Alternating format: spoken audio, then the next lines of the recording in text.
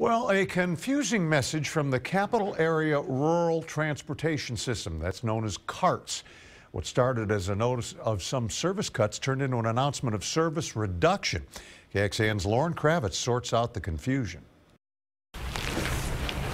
This is how Catherine Weston Mims gets around these days after having two strokes. My kidneys have failed and I have to go to dialysis so I can continue to live. Since Catherine can't drive, she relies on CARTS buses to take her to her appointments, something she was told was ending. I received a call on Tuesday about midday advising me that as of January 4, which will be Monday, that we would no longer, carts would no longer be available for transportation. When we called carts this morning, we were told the same thing. Find the new schedule. However, Catherine also received this notice saying rides would only be available on Tuesdays and Thursdays.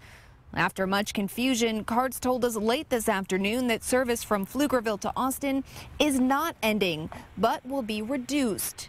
Buses to Manor and Del Valle will also be limited. The general manager of CARTS tells me they're still providing rides in rural areas that have urbanized, even though funding from Travis County has remained the same. CARTS says when they asked the county for an extra $300,000, they said no, forcing them to cut services.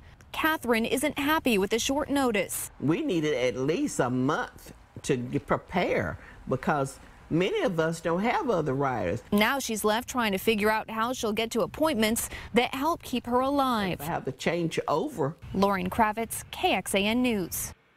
Well, we did reach out to the county today, haven't heard back. Last fiscal year, CARTS provided nearly 400,000 passenger trips, about 8,000 of those originating in Pflugerville. The CARTS district covers 7,200 miles over nine counties including parts of Bastrop, Blanco, Burnet, Caldwell, Fayette, Hays, Lee, Travis, and Williamson counties, and the city of San Marcos. It's governed by a 10-member board, one from each county and one from the San Marcos City Council.